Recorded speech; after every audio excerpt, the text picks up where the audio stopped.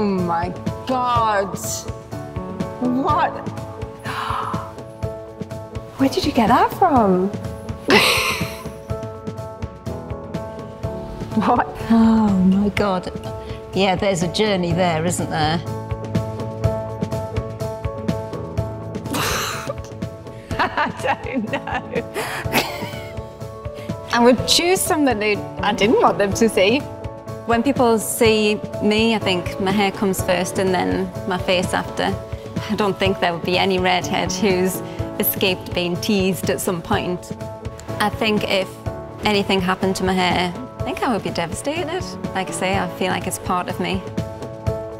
Because I, you know, my hair started going grey when I was 17 and I didn't want to look like an old woman.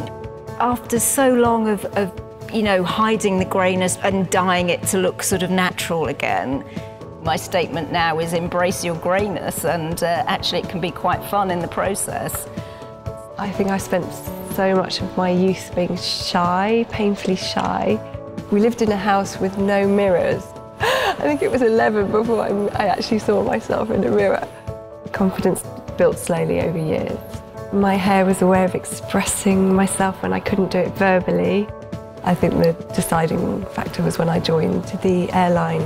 And I think having a uniform, your makeup done and your hair done gives you that confidence as well. I've been on an emotional roller coaster.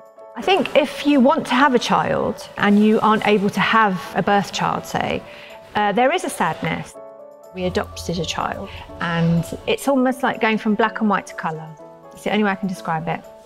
And I feel that this hair now sort of matches that because I'm sort of on show now because I'm his mum. I would. I, I wouldn't care now, actually. I am happy with who I am now. If your hair feels good and looks good, it's really important. And I know it's important to most of my friends. Yeah, why not?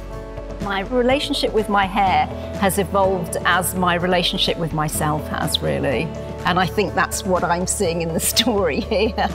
they all tell a really great story and reflect how I was feeling at the time. Yeah, I would stand proud. It's funny because I used to want everything so elaborate.